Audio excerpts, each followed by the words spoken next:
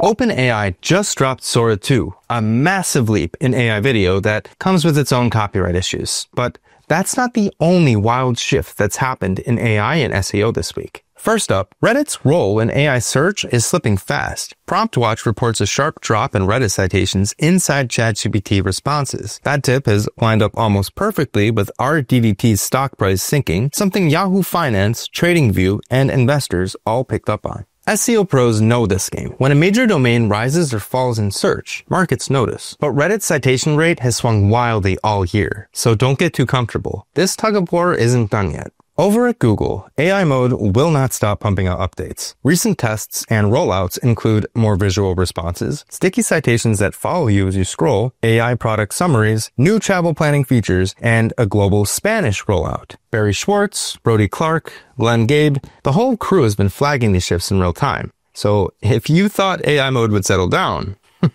no. By the way, if you're tired of chasing these AI search shifts manually, SE Rankings AI tools surface insights automatically, so you don't have to.